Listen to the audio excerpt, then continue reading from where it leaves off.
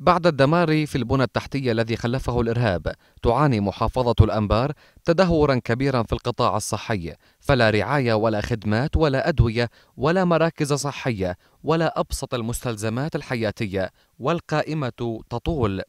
وزاد من سقف هذه الحالة المأساوية المشاريع الوهمية التي تخللت هذا القطاع المهم محملة المواطن مزيدا من الأعباء. دار صحة الأنبار شنو خطة عملها؟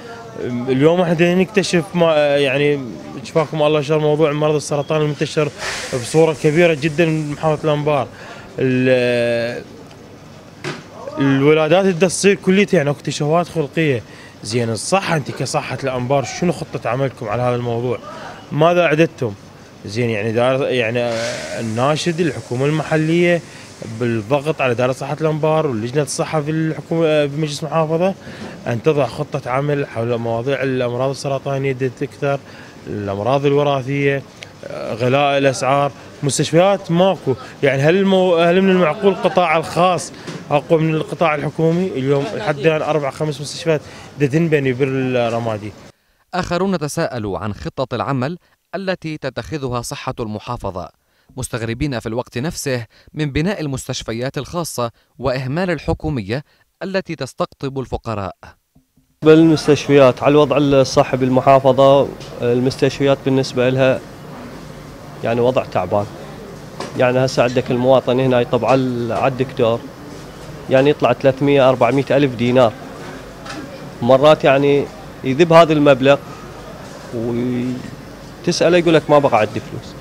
يعني تحليل واحد 125 ألف دينار.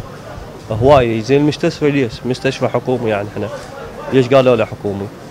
وبالنسبة للمواطنين والله متأذين يعني شغلة الدكاترة والمستشفى. تروح المستشفى يقول لك روح اطلع اشتري العلاج من برا. ليش اشتري العلاج من برا؟ المستشفى شنو شغله؟ ما مستفادين كل شيء من موجود حاليا هو مدير الصحة مال الأنبار. وماكو عناية قوية على الأنبار خلاص بالمستشفى الصحة عندنا بالرمادي صفر وماكو أي عناية علاج بالمستشفى ماكو يروح اشترى من برا. يسوون عمليات كلها على الخاص. إذا هذا الفقير ما عنده مين يجيب؟ عملياته وتقلبه والله مقبض والله حقك سرة.